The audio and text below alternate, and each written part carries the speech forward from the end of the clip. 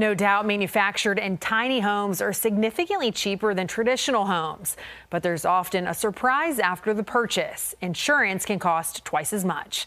10 News anchor John Carlin breaks down the cost differences and reveals ways to get a lower premium. Lisa Gill writes for Consumer Reports and she lives in a tiny home. My favorite thing about my tiny home is my bathtub. She also loves not having a mortgage. So, what I pay for insurance every year is pretty steep, but I've taken a few steps to lower my bill. Tiny and manufactured homes are becoming a popular alternative, but it could be a costly trend. Home insurance prices can sometimes be double compared to a traditional home. Why does it cost more to insure less home?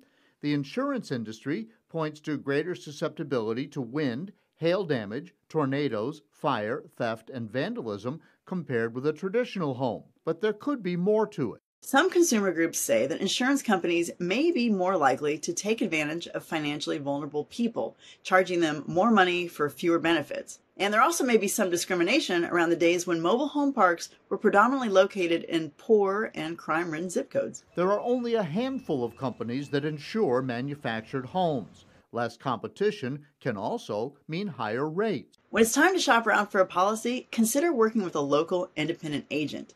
Doing so can be a lot more efficient than shopping for yourself online. Here are four other ways to save. Make sure you have the highest possible credit score. Your credit history can determine premium rates.